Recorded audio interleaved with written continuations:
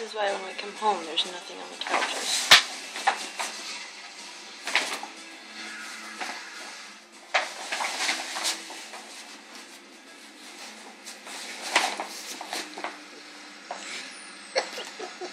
You comfy?